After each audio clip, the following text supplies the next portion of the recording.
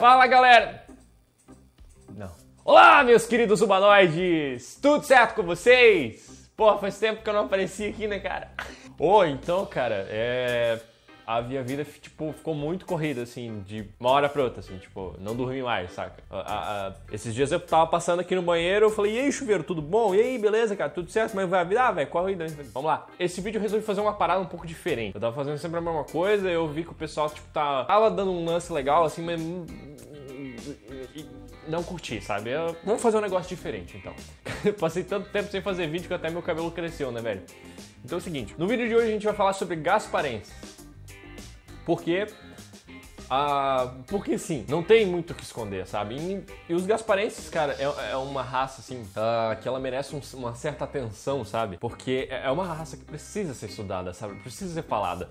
A gente fala tanto sobre os blumenauenses, a gente fala tanto sobre isso, sobre aquilo, sobre não sei quem, mas a, a gente esquece dessa galera do bairro do lado, que é Gaspar, esse pessoal, esses gasparenses. Então hoje eu vou fazer um vídeo especialmente para falar dos gasparenses. Bom, primeiramente eu queria agradecer o pessoal que tá assistindo o canal, mesmo que, tipo, eu, eu lanço um, um, vídeo uma vez na morte, ou melhor dizendo, eu lanço um vídeo uma vez numa enchente, outra vez em outra, que a galera assim tá curtindo o canal, sabe? A galera me conhece. Ah, pô, esses dias eu passei aqui no Burger King e o cara do drive-thru me reconheceu. Ah, porra, eu fui no arroio, o cara, um cara me reconheceu. Eu acho que ele tava dando em cima de mim, mas tudo bem. Eu andando na 15, velho. O maluco me reconheceu. O cara não era nem daqui, o cara era do Rio de Janeiro, saca? Então, porra, valeu assim, galera. Eu, eu, eu vou investir mais em vídeos que vão falar sobre o Blumenau, que vai ajudar essa galera. Tá vindo pra Blumenau. E é isso aí. Pra gente começar a conversa, a gente precisa entender mais ou menos o, o que que, o que que Gaspar. Bom, na verdade, Gaspar é, é uma cidade, é uma cidade. Na verdade é assim, Gaspar é assim, Gaspar é uma cidade. Não tem uma variedade de coisas tão grande como tem na capital do Vale do Itajaí, que é Blumenau. Então o que acontece? Essa galera vem de lá e vem pra cá, e vai pra lá e vem pra cá, dentro dos ônibus pra, pra aproveitar um pouco da nossa cidade, né? Existe uma rixa entre blumenauenses e gasparenses. A gente pode dizer rixa assim, mas assim, porque Blumenau, na verdade, é, é uma cidade que é colonizada por alemães. Todo mundo que mora aqui, tipo, sempre morou aqui, sempre trabalhou no mesmo lugar, e, e 200 anos trabalhando no mesmo lugar, então a, a, os, os, os gasparenses, assim, eles moram na cidade do lado, só que de vez em quando eles vêm para Blumenau para fazer alguma coisa, sabe? Tipo, por exemplo, usar o banheiro. Uh, tem alguns, algumas outros, alguns outros lugares que eles vão, tipo shopping, sabe? Pra você perceber que tem um gasparense no shopping, a primeira coisa que você tem que olhar assim se ele tá igual um turista, sabe? Se ele tiver igual um turista, com a câmera na mão, batendo foto de tudo, é porque é gasparense. E cara, o pessoal de Gaspar, eles são. É, é um povo assim, é um povo interessante, sabe? É um povo, é, que nem eu disse, é um povo que precisa ser estudado pela NASA. Porque a galera vem de outra cidade pra, tipo, vir no shopping não são poucos quilômetros, cara. E basicamente assim, cara, quando você conhece um gasparense, você não está conhecendo basicamente um gasparense, você está conhecendo uma pessoa que está se passando por blumenauense, que fala que é de Blumenau, tá no Facebook que é de Blumenau, mas na verdade o cara mora onde? Gaspar. Então, cara, você provavelmente já conheceu um amigo na sua escola, o cara falava que era de Blumenau, aí você perguntava, tá, tá, tá, velho, onde é que tu mora? Ah, eu moro aqui pra trás, aqui, né? Tá atrás aqui no morro, aqui onde? Não, ali, que tá no bairro tal. Ah, você mora em Gaspar, então. Não, não, não, é divisa, é divisa. mas não é Gaspar, não. o gasparense, assim, cara, é, ele tem uma rixa com o Blumenauense que é o seguinte: é, o, o, ele sabe que o Blumenauense não gosta do Gasparense. Por quê? Porque o Gasparense não dá seta. Mas o Blumenauense dá seta? Não, o Blumenauense não dá seta, entendeu? O pessoal acha que a seta é igual ao cu, não quer dar. A galera eh, pensa assim: pô, eu vou, eu vou pra praia hoje, mas se eu passar pela 470, 470, a lente vai estar tá cheia, ela tá cheia de buraco. Então o que, que eu vou fazer? Eu vou pra Gaspar. Aí você chega, pega, a, a, pega aquela Jorge Lacerda, de puta que pariu, que rua ruim, velho. Deveria se chamar Jorge Lamerda, porque porra, você não sabe se você presta atenção nos buracos ou se você presta atenção nas placas de lombada, porque se você prestar atenção nas duas coisas ao mesmo tempo, você não consegue. Você vai ou bater no buraco ou você vai pegar a lombada. E aí você pega a Jorge Lacerda em direção ao Gaspar, para você que vai para Penha, vamos dizer assim, vai para 101, vai qualquer outro lugar do litoral, aí você pensa, puta que pariu, eu deveria ter pego 470. E cara, Gaspar é assim, velho, Gaspar é um trânsito caótico, sabe? É igual a Índia, saca? É, é um monte de transversal assim, que a galera vai e passa e não dá seta e atravessa na sua frente e foda-se. E você consegue perceber se o cara é de Gaspar quando ele tá andando em Blumenau, principalmente quando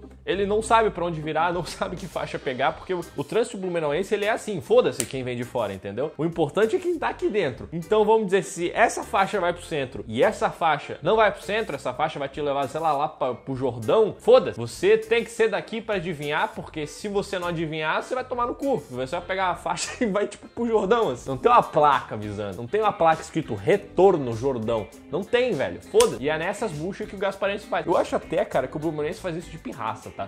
Não coloca placa em nada porque ele quer, ele quer olhar o Gasparense e vai falar, oh, esse filho da puta é Gasparense, né, cara? Olha a merda que ele tá fazendo aqui. Olha, o cara vai pra uma faixa, não vai pra outra, o cara não dá certo. É exatamente assim, sabe? Eu acho que, eu acho que o Blumenense faz isso de pirraça. E tem algumas coisas também no trânsito que o Gasparense ele não tá acostumado, sabe? Não é uma coisa que tem na terra dele. Porque na verdade, assim, o Gasparense ele tá acostumado a andar de carro de charrete e comprar esquilo, sabe? E tem algumas coisas assim que o Gasparense ele não, não, não sabe exatamente para que, que serve, sabe, no trânsito. Muita coisa, sabe? A sinaleira, faixa de pedestre, a linha de retenção, meio-fio, seta, rótula. Essas coisas assim são novidade pro Gasparense, porque na verdade ele tá acostumado a andar com a cacharrete. O que é a charrete? A charrete nada mais nada é que um cavalo, ou se o Gasparense for muito rico, tiver uma potência muito boa na charrete, vai ter dois cavalos e não tem seta, entendeu? Não tem seta, não tem amortecedor, não tem lombada. Então, e aí quando ele tá andando no trânsito, ele vê uma rótula, né? Diga-se rotatória, ele pensa: Meu Deus, o que que eu faço?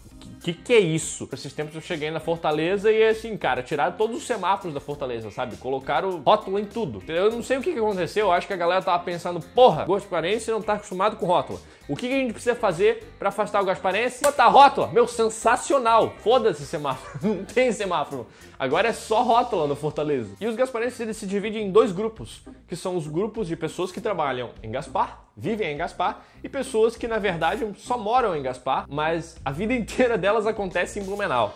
Eu tenho uma pena dessa galera que mora em Gaspar e trabalha em Blumenau, porque, cara, eles enfrentam o pior dos dois mundos, cara. Eles têm que sair de Gaspar, pegar o trânsito inteiro de Gaspar o trânsito inteiro de Blumenau para chegar em Blumenau, para ser alguém na vida e voltar para Gaspar. Velho, olha que vida de inferno, cara. E tem as pessoas que moram em Gaspar e trabalham em Gaspar. Essas pessoas, eu não faço ideia como é que elas vivem, mas segundo o Globo Repórter, são pessoas assim que elas moram em casas, elas frequentam lugares tipo supermercado, ah, lugares assim que você precisa comprar, sabe? Igual a gente, são pessoas igual a gente. A diferença é que moram em Gaspar. A diferença é que eles estão mais perto da praia. A diferença é que eles não precisam passar por Gaspar Gaspar para chegar na praia. Por quê? Porque já estão em Gaspar, entendeu? Então não rola aquele estresse todo. Em resumo é assim, quando o Gasparense ele quer um entretenimento, né? Ele quer, ele quer uma emoção, ele quer um, algo na vida dele que cause um impacto. Ele vem para Blumenau para fazer o quê? Para andar nas nossas ruas, não dar seta, travar o trânsito, fechar cruzamento, essas coisas básicas assim que a gente sabe que a galera de, que de lá faz a gente adora. E aí eles passam por lugares assim que tem um divertimento muito grande, por exemplo, um shopping, o Ramiro. Mas cá entre nós, todos nós amamos Gasparense, todos nós somos S2 Gaspar.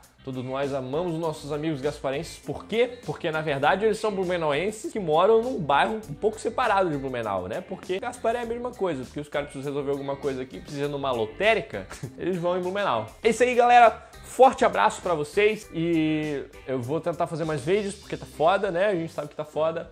Valeu e tchau.